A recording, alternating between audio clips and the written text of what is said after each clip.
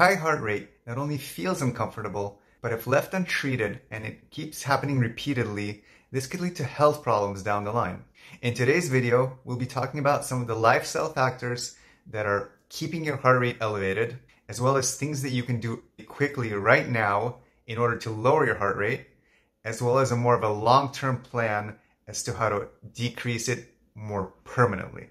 Welcome to HRV Hackers. If you're somebody who enjoys research-based advice on how to improve your health, I would love to have you join me as a subscriber. Nothing in this video is medical advice. Always check with your doctor before implementation, especially if you have a medical condition. So what are some of the things we need to be on the lookout for when we are dealing with high heart rate?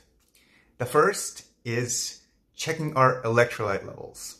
We want to make sure that our electrolytes such as magnesium, calcium, potassium are all in optimal ranges because your heart requires them in order to work properly, as well as uh, keep your blood pressure in good range as well. While potassium and calcium are relatively easy to obtain from a normal diet, magnesium tends to not be, and a lot of people tend to be deficient in magnesium. So supplementation is key with something like magnesium bisglycinate. Low levels of magnesium are associated with atrial fibrillations and heart arrhythmias if you need any extra motivation to start supplementing with magnesium right now. Sedentary lifestyles. Sedentary behaviors where we're doing things like sitting all day with barely any movement could lead to heart shrinkage and stiffening of arteries. So research suggests that it's best to set a timer and try to move around in approximately 30 minutes every hour especially while you're sitting at your work and focusing on your laptop. What is the minimal amount of minutes per day you should aim to move? Approximately 70. And of course, you should always try to do more if you can. Food allergies and food sensitivities. Do you feel like crap after some meals? Does your heart rate also spike during or after those meals? You could be having some food sensitivities or food allergies. The problem with a lot of food and diet-based advice is it's too generic. Somebody's health food is somebody else's food sensitivity and food allergy. For me, it's things like avocados, cauliflower, broccoli, all cause food issues right now. How did I discover this? I have a continuous heart rate and heart rate variability monitor, which made it super easy to put two and two together. As soon as I would eat, let's say an avocado, within a couple of minutes, my heart rate was already spiking to 115. So if you haven't invested in a continuous heart rate variability and heart rate monitor, I would highly, highly, highly recommend you do. Caffeine. Why do some people feel amazing, energized, supercharged after a cup of coffee or tea, while others feel anxious, get stomach issues, have insomnia, and have a huge heart rate spike that just doesn't go down? The research suggests that a lot of people are slow caffeine metabolizers. And what that means is that caffeine could stay in your system for 12 or even more hours and cause all sorts of issues. Whereas if somebody was a fast metabolizer, caffeine exits their system quickly and they just get all the beautiful benefits of caffeine. So how do you know if you're a fast or a slow metabolizer? You would use a service like 23andMe that will give you a genetic test and let you know some of these results. Medical conditions. There are many medical conditions such as an underactive thyroid that are putting a lot of strain on your physiology and thereby raising your heart rate. So in addition to going to your regular doctor, I would also suggest having yourself checked out by a functional doctor because they're very focused on figuring out what the root cause of your medical condition is and helping you resolve it via more natural means. Is sodium keeping your heart rate high? Now I'm not talking about this sodium, the real salt. I'm talking about the cheap stuff that you'll find in packaged foods, in restaurants. That stuff will increase your blood pressure unnecessarily and keep your heart rate high. Smoking and alcohol. I'm sure you're not surprised at all to find them on this list of factors that will raise your heart rate and keep it high. So whether you continue to do these practices is completely up to you. Constant grazing. Unfortunately, a lot of dietitians still give the advice that we should be having six, eight, God knows how many meals a day. The problem with this is that whenever we have a meal, depending on the meal size, the heart has to send more blood to your digestive system. which will of course elevate your heart rate. These meals also spike insulin.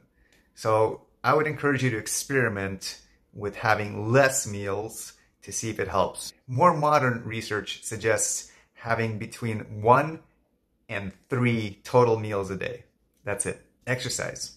Is your exercise routine keeping your heart rate high for days? When we're exercising, it's very easy to fall into the trap of trying to go as high intensity as we can handle for as long as we can handle. There's a lot of research that suggests that we should also be spending time in aerobic zones. For example, where you can still be having a conversation while working out. So it's not just about pushing yourself and pushing yourself nonstop. So while I still recommend practices like HIIT training, especially if your physiology can handle it, it's also important to look into things like zone 2 training and related practices like DFA alpha 1 training. I will link links to practices like this in the video description. These are, are more aerobic, gentler exercises done for longer, which have been clinically shown to lower heart rate. Chronic mouth breathing, as well as chest breathing, keeps our nervous system in sympathetic mode, aka fight or flight mode, which will, of course, keep our heart rate elevated. Mouth breathing has a ton of other health issues associated with it when done in the long term. So I definitely encourage you to check out some of the research done by the team at Oxygen Advantage, which talks about the benefits of nose breathing and the detrimental effects of mouth breathing. I will leave a link in the description. All right, and now we're going to talk about things that we can do in this moment, right now, as well as more long term strategies in order to keep our heart rate lower. First, let's talk about what happens if we're in crisis mode and we need to lower heart rate right away. So, first, I want you to lie down because being in a reclined position puts less strain on your heart. Second, I want you to get a paced breathing app. I will link some down below for free. And you can use that to pace your breathing at the following rates. The recommended rates are either 5 second inhale, 5 second exhale, and some people will benefit from a 4 second inhale and a 6 second exhale. And I want you to just follow this breathing pattern until you're able to calm down your nervous system. Now, in addition, some other things you can do to lower your heart rate right away are taking an ice pack from your freezer and putting it on the left side of your neck and just keeping it there. And also, there's some specific music that was made to lower anxiety in particular. And there's a free track by Marconi Union where I will put the link in the description for it. Now give this a try and let me know how combining all of these techniques together helped lower your heart rate. Next, I want to talk about hydration. If you're not properly being hydrated, your heart rate will be high. And actually, some people, even though they drink a lot of water, will still remain dehydrated. And this is because they need to be taking extra electrolytes that you can just order from Amazon. And then you should start seeing a difference in both your heart rate and energy levels after you start being properly hydrated. Intermittent fasting. Intermittent fasting has tons of benefits to your health and longevity. And while there's many different ways to do it, my personal favorite is 16-8, where you eat during an 8-hour window and you completely stop eating during a 16-hour window.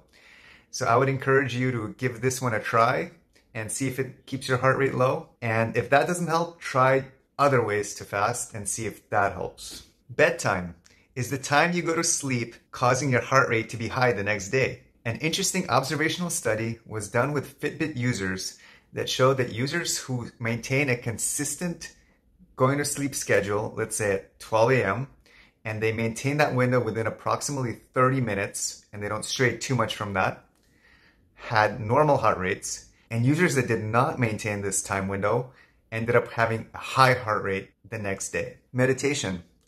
If you need yet another reason to either start a meditation practice or maintain a meditation practice, and you're currently dealing with high heart rates, here it is. Meditation will lower your heart rate. And as a bonus, the Muse headband, which is one of the best ways to learn how to meditate, comes with a feature that teaches you how to lower your heart rate via breath, via biofeedback. All right, guys. Well, hope that was helpful. And if you have tips on how to lower your heart rate that I didn't mention, feel free to leave them as a comment, and I will see you in the next one. Bye.